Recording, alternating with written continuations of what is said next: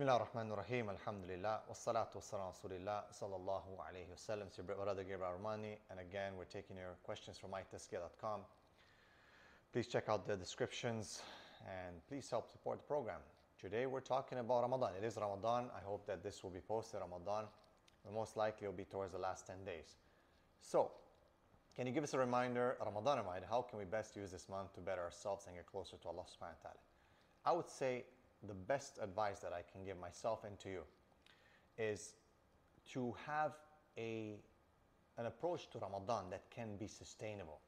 Meaning, after Ramadan, you'll be able to continue. Some people work really hard in Ramadan, they push really hard, and then nothing happens after. Because they worship only Ramadan and they worship Allah only in Ramadan. That's not how it works you have to have an approach that is sustainable. Meaning, after Ramadan, you'll be able to continue. Now, of course, you're going to go a little bit down, a little bit down when you are outside of Ramadan. However, it should not be a big difference. That's the mistake that most people do. They get super excited about Ramadan, which is great. They get super excited about doing so many extra things, which is great. Yet that's not sustainable. They're not able to maintain that kind of momentum when they actually get outside the Ramadan.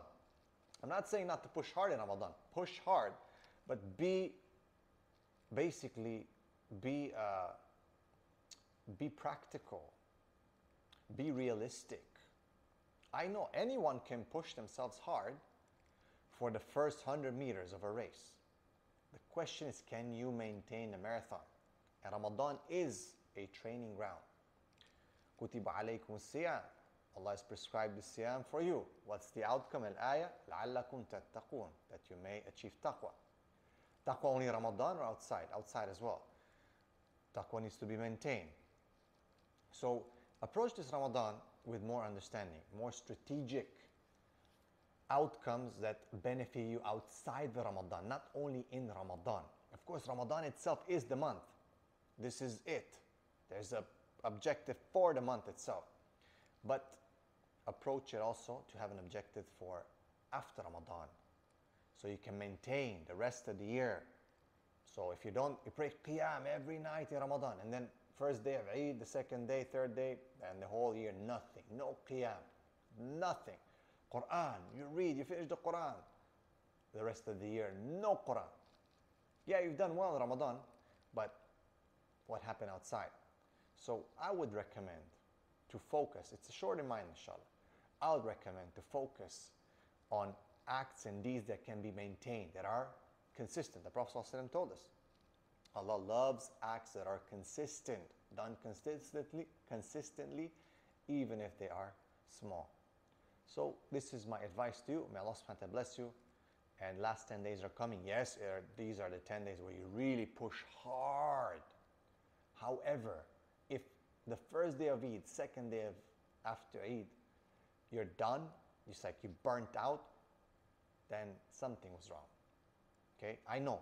Most scholars say last 10 days, let's push. I understand. We all do. This is what the Prophet said. Shaykh al-Islam ibn Taymiyyah says, it's the horse, racehorse, right? He's going to push on the last, the last strip. He's going to have to push hard. I totally, totally recommend it. But if you're going to collapse after and you're going to be able to continue your lap, then basically it wasn't that beneficial and Allah knows best. We ask Allah subhanahu wa ta'ala to give us tawfiq and to help us to maintain istiqamah. A lot of people don't understand that the objective of this deen and of Ramadan and of Salah and of Siyam is istiqama, not to go and then crash down. Istiqama. Barakallahu feekum. Assalamu alaikum wa rahmatullahi wa barakatuh.